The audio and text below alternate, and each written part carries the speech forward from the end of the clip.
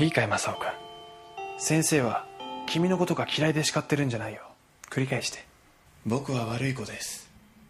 僕は悪い子です。生きてる価値がありません。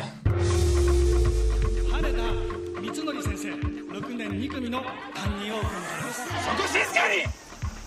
正雄君最近の子供は大人を舐めてますからね正雄君は泳ぎ終わった時うまく泳げない子のことを見て笑ってたよね。最低な人たちえー、正雄君の点数が悪かったので今日も宿題を出します。いい目をお母さん幽霊って信じる？誰で？俺はお前だよ。お前先生は何でも正しいって思ってるのか？何もしないで。我慢するしかないんだよ。死んでしまえ 楽になれずぞ。こいつもやっちゃおうぜ。どうせゴミだし。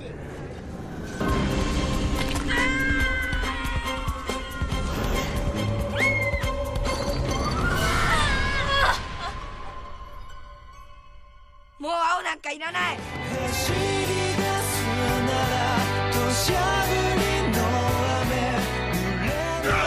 目のせいで全部台無しだよ。自分の頭で考えろ自分の心でちゃんと見ろ。浅尾お前自身の力で戦え。死に損ないの青